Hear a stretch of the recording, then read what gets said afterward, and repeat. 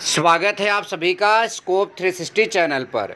सी O T का result कब आएगा? इस वीडियो के माध्यम से आप सभी को सही एवं सटीक जानकारी देने जा रहे हैं। यदि आपने अभी तक हमारे चैनल को सब्सक्राइब नहीं किया है तो चैनल को सब्सक्राइब ज़रूर करिएगा ताकि सी से रिलेटेड कोई भी नोटिफिकेशन आपके पास सबसे पहले पहुँचे। देखिए, हालाँकि अभी सी का एग्ज़ाम चल रहा है, लेकिन उसके रिज़ल्ट कब आएँगे, यहाँ एक अखबार के मतलब कि जो अखबार है आपका हिंदुस्तान पेपर उसमें छपी जानकारी के आधार पर मैं आपको ये बता दे रहा हूँ कि आपका रिज़ल्ट कब तक आ सकता है। तो देखिए, इसकी हेडिंग है कि रिज़ल्ट जारी होने में लग सकता है, इतना समय यहाँ पढ़े डिटेल्स। तो यहाँ थोड़ा नीचे से इसको पढ़, पढ़ने की कोशिश कर रहे हैं तो इसमें लिखा है तीन से चार सप्ताह लग सकते हैं।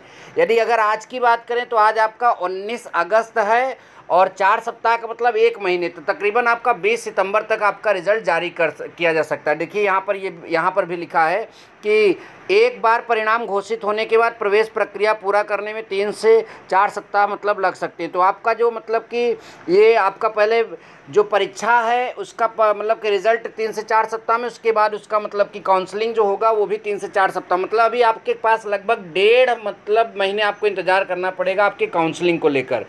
और यहाँ पर जो है, इस तरह, यहाँ पर देखिए, एक और इंपॉर्टेंट न्यूज़ इसमें लिखी है कि जो सी का एग्ज़ाम एनटीए ले रहा है, वो काफ़ी मतलब कि बच्चों को परेशान कर रहा है।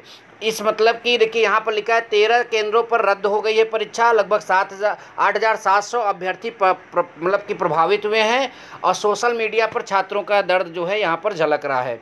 तो आगे यहाँ पर लिखा है कि इससे अगर मैं मतलब कि इंपॉर्टेंट बातों की बात यहाँ पर कर लूँ तो यहाँ लिखा है एन टी सात सितंबर के आसपास परिणाम की घोषणा करने का लक्ष्य बना रहा है। हालाँकि मेरे ख्याल से ऐसा नहीं लगता कि यहाँ पर हो पाएगा। दस सितंबर के आसपास ही आप मान के चलिए उसके बाहर या सीयूटी जो है अपना रिज़ल्ट जारी करेगी। थैंक यू सो मच जय हिंद वंदे मातरम।